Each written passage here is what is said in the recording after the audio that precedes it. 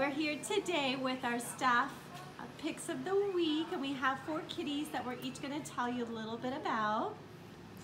All right, this is Mimi. She's about seven years old and she's my pick because she's one of the sweetest, oh, one of the sweetest little ladies ever.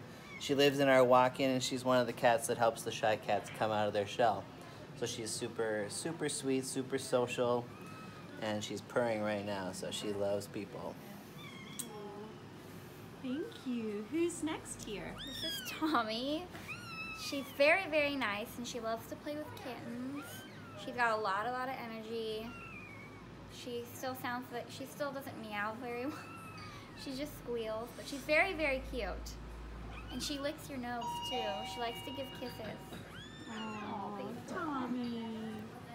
Oh, and who's this big hunk of love? This is Maxie, and he's five years old. Um, he's my favorite of the week, well, favorite all time, because he's just the sweetest thing. He's like a big baby.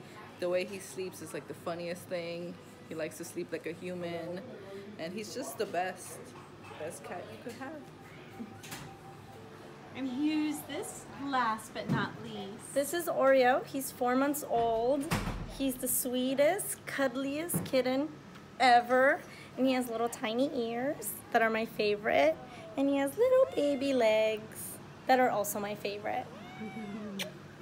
Well, that's our pick of the week, you guys. Stay tuned for next week. We'll show you a whole new bunch here. All these adorable kitties are available for adoption.